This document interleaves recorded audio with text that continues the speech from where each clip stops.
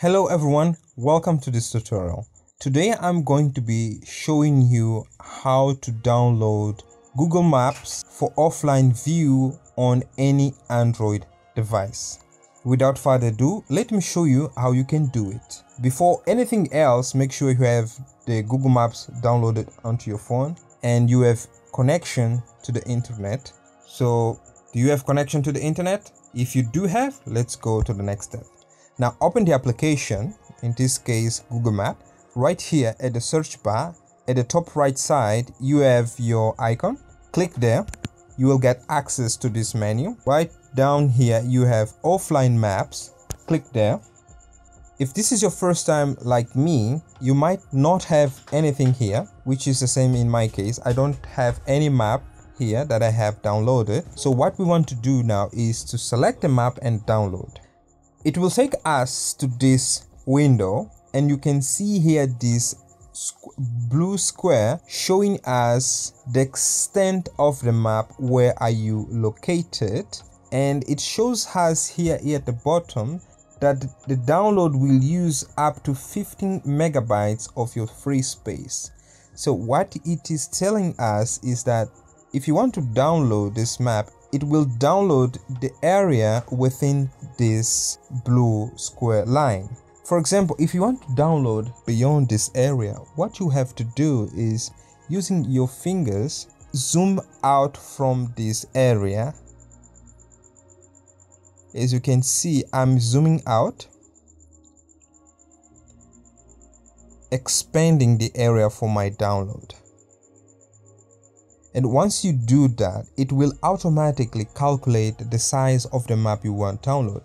For example i had 15 before now i have 20 and if for some reason you don't want to download this specific area using just one finger you can move around the map going to anywhere you want locating the place you want to download for example let me just find here Cape Town. For those who don't know Cape Town is South Africa. I want to look for Cape Town right here. Now that I have found it I'm just going to zoom in because I just I want specific area of Cape Town. As you can see now I'm zooming in using two fingers.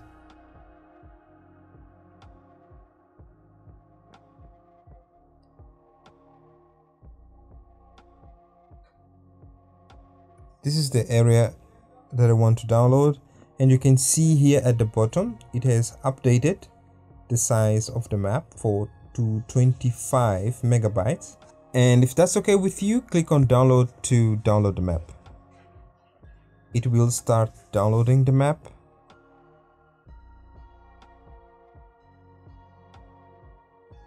My internet is a little bit slow so I will leave it downloaded and come back once it finished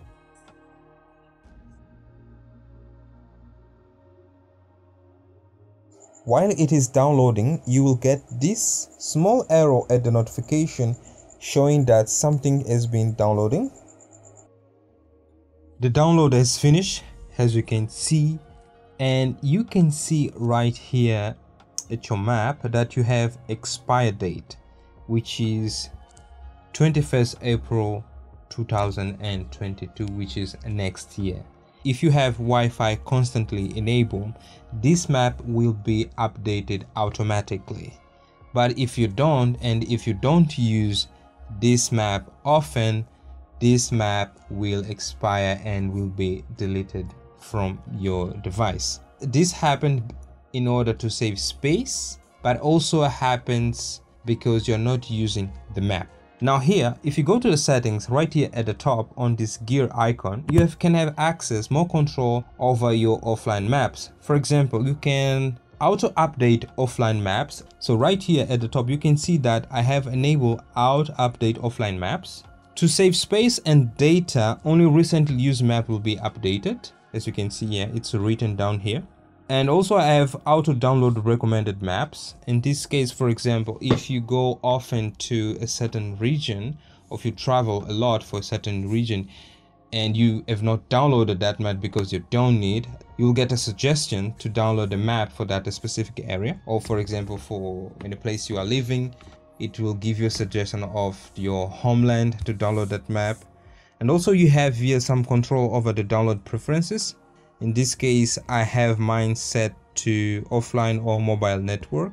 Most of the time i like to keep it on over wi-fi. Only you know data mobile is expensive and i like to save as much as possible. So keep there over wi-fi only all the time and then click save. You have your storage preferences. I like to save all the data on my device storage. So that's okay. And that's all in this section this is the settings that i use often and most of the time i don't change it so i keep it the way it is. So once you have downloaded the map and you want to access the map that you have downloaded just click there and will take you directly to the map. You here you have the option to rename the map by click on this pencil. In this case i don't want. You also have the option to delete or to update the map if you want. You also if you want you can click here on the map to take you to this main window of the map where you can do the proper search on off if you want. Let me just show you what will happen. For example let's say you don't have internet access. I'm going to switch off here the wi-fi. You have downloaded the map and it is offline. Your phone is offline. You don't have mobile data and no wi-fi connection. So what you want to do is come here to your icon go to offline map and then go to your map the map that you have previously downloaded downloaded. Click on there and then click again on the map to have access the map. You take you to this window. Now here you can zoom in to get detailed information about the city or the place you want to go. So as you can see the map you have downloaded it's perfectly working. This is not cache information. This is actually the map that you have downloaded. You see it is working perfectly.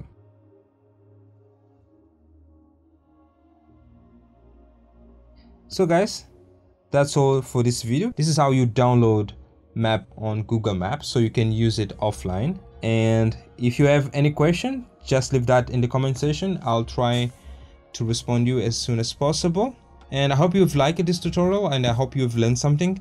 And if you did share this video subscribe to the channel like it and i'll see you in the next one. Ciao